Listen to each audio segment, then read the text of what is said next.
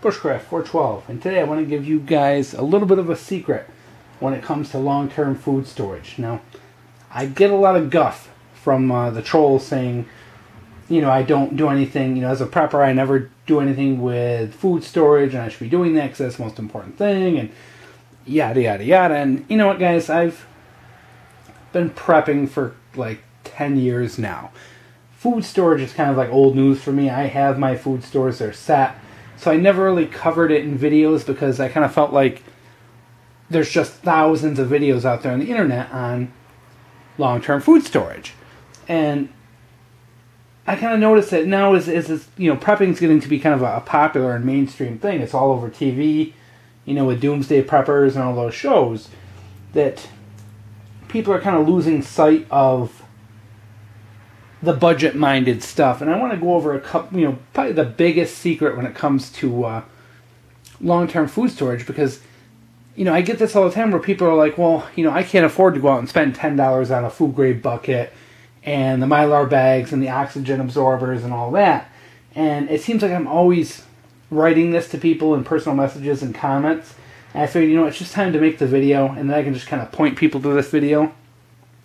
You don't need food grade buckets you do not need mylar bags. The only thing you need to store dry foods, you know, your dry rice, beans, oatmeal, things like that. Dry foods, the only thing you need to store them are your used soda bottles and oxygen absorbers. Now, let me explain something. Is when I was younger, I used to homebrew beer, and of course, when you homebrew beer, you you brew it in food grade plastic buckets, and I would go to these homebrew stores and I would spend a fortune on these, uh, you know, the uh, amber, you know, bottles that you could bottle the beer in. And it just got too expensive. And the more and more I did it, it just got to the point where it was so expensive, I started doing research. And what did I learn? But these things right here are food grade plastics. And you can tell, we're going to find this here and show you. Hopefully this shows up on camera. As you can see, there's a little triangle there on the bottom, right next to my thumb. And in that triangle is a 1, and under it it says PETE. It's very light. Usually on bottles it's at the uh, very bottom.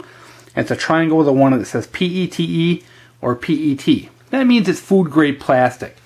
Food grade plastic means that, number one, it's not going to leach chemicals or anything into what's inside it. And number two, it's an oxygen barrier which makes it say you know it makes it a good barrier for oxygen. So when I was homebrewing beer, I stopped spending a fortune on these you know these uh, specialty bottles that I was getting from the homebrew stores and started packing my beer in soda bottles. And I actually found that you know it worked just as good and they stood up to the pressures of the carbonation just as good as as the expensive store bought ones. Now fast forward now to prepping you know, everyone says you should be putting food in mylar bags. You know, mylar bags have a uh, food grade plastic lining covered with the mylar outside that gives it the toughness and all that. Do you need those? No. Are they nice? Yeah, they're really cool. I mean, they're they're a lot of fun and just really make uh, storing food a breeze. But you can put your dry food in this soda bottle. Get a funnel, now, of course, you know, this one here is dirty, but uh, pull that out of the recycling. If you were to clean this, sanitize it with bleach water or whatever, let this thing air dry, fill this up with rice, squeeze an oxygen absorber in there and close this thing up tight, this will stay just as good as the food in the mylar bag. And just to show you, this here, also food grade plastics. This here, also food grade plastics, but I don't recommend using these cheap water bottles with the small caps because they don't seal very good. As you can see the uh, how small the cap is versus how big the cap is on that. If you're going to use bottles, use the ones with the bigger caps. They have better threads and they seal a lot better. Now, you don't just need to use soda bottles. You can also use 2 liter soda bottles, 3 liter soda bottles, um, juice bottles, you know, just make sure they have, the most important thing is make sure they have a very good lid. Something that seals down very tight. And the best way to test it is ratchet this thing down real tight, submerge it in water and squeeze it. If any air bubbles come out, it's no good. But if, if you know, you put it under water, no air bubbles come out, you have a good oxygen barrier. Um, and from what I learned from home brewing, is that this food grade plastic soda bottles are a lot stronger than glass. They are a lot better at holding pressure than any other alternative. So, you know, I think if you're putting it in the bags, the bags are very strong, but you could over carbonate the beer and it wouldn't explode in these bottles. You could tell, you could feel them, and you know, you're not going to destroy them by putting too big of an oxygen absorber in there. Um, so I highly recommend if you're you know if you're going to be doing this and doing it on a budget, recycle your soda bottles, clean them, dry them out, put your dry food in there, whether it's uh, you know rice, beans, you know pancake mix or whatever, and then you're going to have to put in an oxygen absorber in. And, and guys, I can't spend the time to do the math. I know I'm going to get a lot of questions about the oxygen absorbers and how big they should use. Rule of thumb for one of these like soda bottles, you know, like a 20 ounce, you know, probably a 100 cc would be fine. But if you put a 300 in there, you know, you the bottle might collapse a little bit, but the integrity should be uh, should still be there. Um, you're gonna have to sit down and do the math and figure out how much airspace is in there, how much you need to remove. It's going to be different based on the different kind of foods you use. You know, whether it's a powder or something with a lot of air like a noodle. So, you, sorry guys, you're gonna have to sit down and do the math. But I'd say, you know, depending on what you have, anywhere from 100 to 300 cc's in a soda bottle. Now, if you're doing like a two liter or a three liter, you're probably gonna want between 300 and 500 cc's. But you know, like I said, it depends on what you're putting in, how much headspace there is, a lot of variables to that. So your numbers could be different depending on what you pack. You know, so guys, when you're out there starting your long-term food storage, you don't need to spend a fortune. You don't need to spend a lot of, you know, you don't need to buy these $10 buckets. You can store food in any food grade plastic. Um, and as you look at things around the house, you'll notice there's a lot more uh, food grade plastic than you would think. A lot of products you buy are in it. It's very common, and you can get it literally out of your recycling bin. You don't need to spend 10 bucks on the bucket, 10 bucks on mylar bags, and then 10 bucks on oxygen absorbers. You can save yourself and just buy the absorbers and put it into 2 liter bottles, 3 liter bottles, whatever you can get your hands on.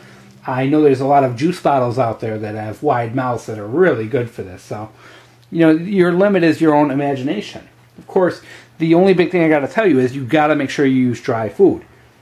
If you're using foods that aren't dried, you have the potential to get botulism uh, because the moisture in that will make the food rot.